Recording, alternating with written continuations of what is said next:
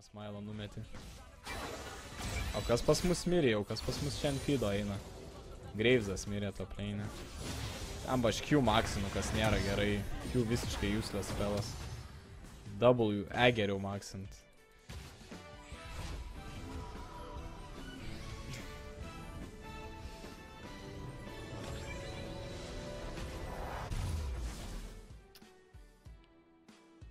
Sako, Lolas realiai jau atgimsta po truputį, jau baigėsi jo mirties laikotarpis. Tipo, Lolo esmė buvo nužudyti visus senus žaidėjus. Ir dabar jis atgimsta vėl kaip vos ne naujas patrauklų žaidimą.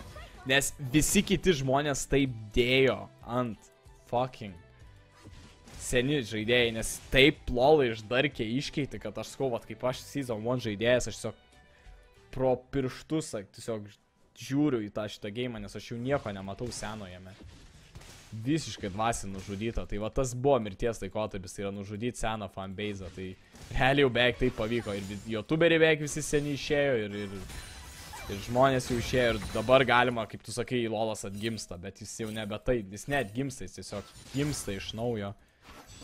Lema, būtų tiesiog puiku išleisti Lolas 2. Tiesiog išleiskit Lolas 2. Baikit išsipisnėt. Išleiskit antrą dalį. Daug kas anksčiau kalbėjo apie tai, apie tą teoriją, kad antras Lolas.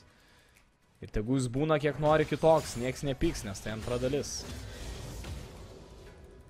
Bet dabar, kai Darko mūsų mylimą vieną gėjimą, nu, tai aš taip nemanau. Kas pas mus ženglina, nesavas? Kur mūsų savo žaidžia? Žolė Greivzas mūsų ir mirė, blemba topė, jeigu feedins tas mūsų velnis. Aš tai toliau beitinu, jis su Ignite žaidė, o Vilkozas su Ignite žaidė. League of Legends 2 kažkas tokio. Galėtų, iš principo galėtų LOL of Legends pavadinti. A, aš nepykčiau. Šiaip labai gerai skamba. Kam čia tos dvejetas? LOL of Legends. Yra pirma dalis, normalus LOLas ir ta kažkokį retardų padaro editioną LOL of Legends. ir tegul žaidžia. Kas nori ten kažkokiu nesąmonų. Nes aš visai palaikau LOL of Legends.